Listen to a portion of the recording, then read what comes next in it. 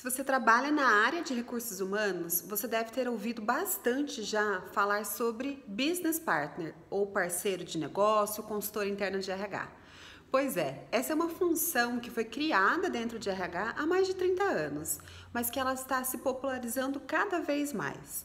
E muita gente me pergunta o que é ser BP, qual é o papel do BP, se na minha empresa não existe uma estrutura montada, às vezes eu estou numa empresa menor, uma empresa familiar, ou mesmo uma multinacional que tem uma estrutura mais tradicional, como que eu posso me desenvolver? Como que eu posso atuar e obter os mesmos resultados que um business partner consegue no seu trabalho no dia a dia? Então, eu vim aqui para te explicar um pouquinho o que, que é esse papel, essa função, e para primeiro, logo de cara, te dizer que sim, você pode ser um business partner, mesmo que você não esteja dentro dessa estrutura, mesmo que você não tenha este cargo. Então, essa é uma ótima notícia. Bom, como que surgiu isso tudo, né?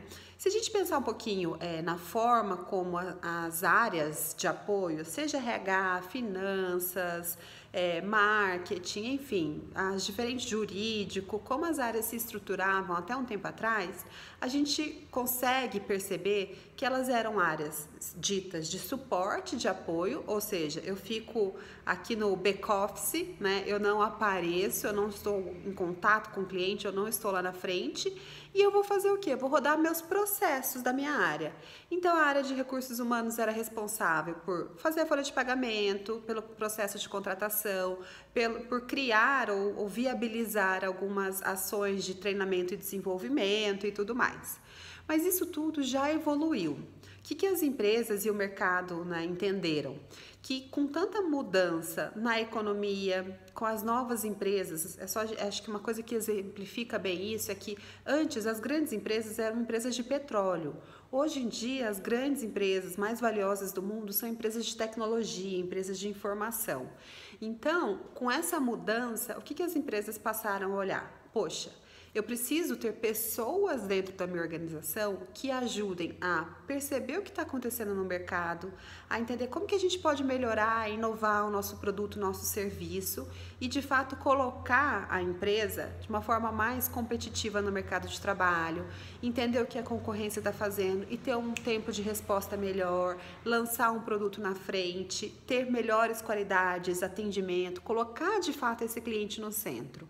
Só que para isso, é, a, as pessoas que trabalham dentro da empresa e a necessidade de adaptar um ambiente que permita com que as pessoas elas atuem dessa forma ficou muito mais acentuado, muito mais evidente. Então, o que, que a gente criou dentro de RH? Essa figura do consultor interno de RH. O que, que ele faz? Ele é um profissional que entende de recursos humanos, então, uma pessoa que vai entender de comportamento e motivações, que vai conseguir fazer um bom processo de atração, de recrutamento e seleção, que entende assim, poxa, quais ações de desenvolvimento eu posso recomendar e viabilizar para desenvolver determinada competência na minha liderança, nos meus colaboradores. É um profissional que entende que uma boa estratégia de remuneração tem que ser aquela que deixa a sua empresa competitiva o suficiente para atrair as melhores pessoas, as pessoas mais adequadas para o seu negócio, para os seus desafios, mas que também né, equilibre interesses aí do dono da empresa, dos acionistas. Então, é, o BP ele tem aí uma, um entendimento das estratégias, recursos, ferramentas de RH que de fato possibilitam que a gente tenha as melhores pessoas fazendo negócio dentro da nossa empresa. E aí, num, essa comunicação ela era meio truncada porque também era bastante comum ah, os gestores, as pessoas de negócio falarem que RH abraça a árvore, que RH fala de coisas softs, que RH não entende de negócio e tudo mais. Então foi preciso que RH avançasse e fizesse uma aproximação de entendimento do que, que essas pessoas do negócio fazem, né? qual é o desafio delas, qual é o perfil delas, que, que é o interesse, o que, que ocupa a mente, a preocupação e a cabeça dessas pessoas o dia inteiro, a hora que elas vão dormir, elas estão preocupadas com o quê? É, então, que avançasse nisso, que o RH entendesse sim do negócio, porque quando a gente quer exercer influência sobre alguém, o ideal é que a gente consiga estabelecer um rapport. E uma das formas de estabelecer rapport é você aproximar a sua linguagem, o seu body language, a sua é, forma de falar, o seu vocabulário daquele igual ao do seu interlocutor. Então, como que eu poderia ser uma, um profissional de recursos humanos que vai exercer influência, que vai preparar essa minha organização e os profissionais para o futuro, se eu não consigo me comunicar com eficiência com esses líderes? É uma coisa que não daria para a gente conseguir o resultado almejado. Então, a gente fez o quê? Deixa comigo. Eu posso é, dar vários passos em direção a vocês que estão no negócio, porque eu sei que o grande diferencial dessa empresa vai ser pessoas, liderança e cultura. E quem é o guardião desses temas, quem entende mais disso na empresa, é a área de RH mas que também precisava começar a mostrar assim: eu entendo disso, eu posso ajudar. Eu posso ajudar a empresa a definir qual é a melhor estratégia de remuneração, que tipo de investimento fazer em, em treinamento e desenvolvimento, é, como atrair as pessoas, como criar um processo seletivo que gere uma experiência legal para o candidato. Eu posso fazer tudo isso, só que o meu papel não é assumir parte do seu escopo, não é ser gestor por você. Então a gente teve aí algumas barreiras, né? Se fosse uma corrida de obstáculos, a gente teve que ir passando um por um desses obstáculos. E uma é, função, uma tática que foi muito importante para muitas empresas já conseguirem chegar lá, foi a criação desse papel do business partner, do consultor interno de RH. Mas aí, é, eu sempre falo, né? Eu gosto de expandir esse, essa visão de BP para além da função. Então, eu não preciso estar aqui trabalhando só com é, uma pessoa que tem o cargo, uma empresa que tem essa estrutura.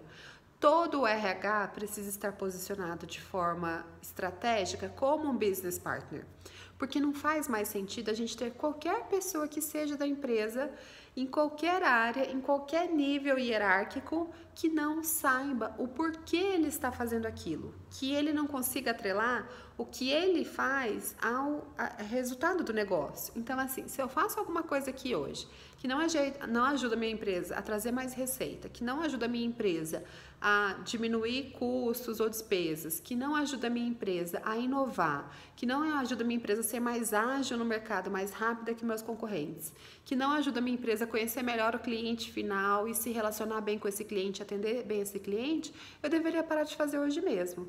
Então, é aí que nasce todo esse conceito e por isso esse burburinho, né? esse, esse, é, toda essa atenção para esse tema do consultor interno de RH.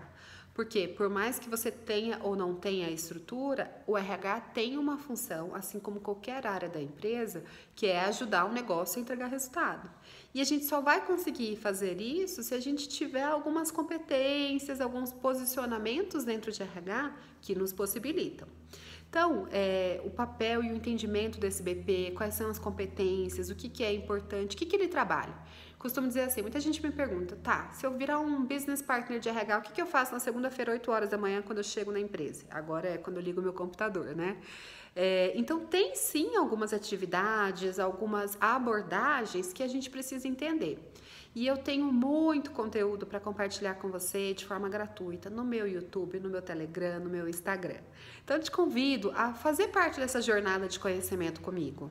Eu fui uma executiva de RH, uma business partner por muitos anos. Então, tudo que eu falo aqui são coisas que eu já fiz e continuo fazendo, mesmo posicionada agora como uma empresária, dona de uma consultoria, eu continuo atuando como business partner com os meus clientes. Então, eu vou te contar o que funcionou para mim e o que eu faço para de fato ter resultado. Então, queria contar com você aqui nas minhas redes sociais, nesse acompanhamento, para que a gente possa aprender junto e levar esse RH para um outro patamar para o patamar de resultados que um consultor interno de RH é capaz de trazer para sua empresa, se ele souber o que fazer, se ele estiver bem posicionado e se ele tiver as competências necessárias.